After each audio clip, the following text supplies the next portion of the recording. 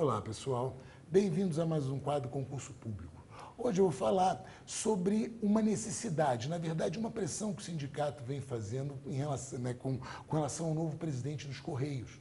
Né? O sindicato vem tentando pressionar a, a, abertura de mais um concurso, um concurso que foi cancelado o ano passado, ele não, não pôde acontecer, para duas mil vagas, mais cadastro de reserva para operador de triagem e carteiro. Então, é um concurso que está prestes a, a, a, acontecer, demanda ainda alguma negociação com, com o órgão, o órgão ainda precisa fazer as contas, ver qual é a demanda e qual é o orçamento que tem, mas a situação está ficando grave, né? até como uma, uma, um argumento do sindicato né? dos Correios. Então, é, é, é um concurso que vai acontecer, o candidato que tem interesse nesse concurso deve ficar de olho e acompanhar as notícias.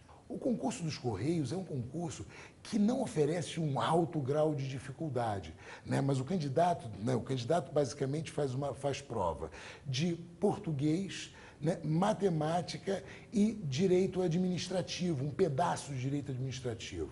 Então, é, antes, antes, tinha informática, mas informática já foi sinalizado pelo órgão que, é, que, sairia, que sairia do processo, que sairia do processo seletivo e seria substituído por esses conceitos de direito administrativo.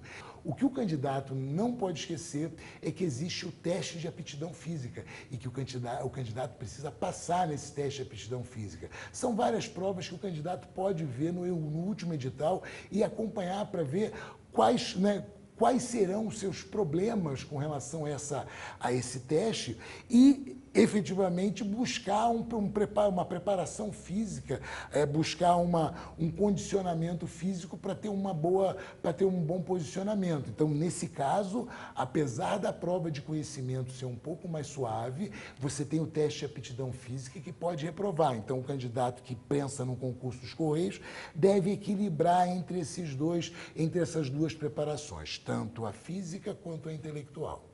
Bom, pessoal, qualquer dúvida ou esclarecimento, só mandar um e-mail para o endereço que está aqui embaixo, que eu vou ter todo o prazer em responder. Meu nome é Paulo Estrela e até o nosso próximo encontro.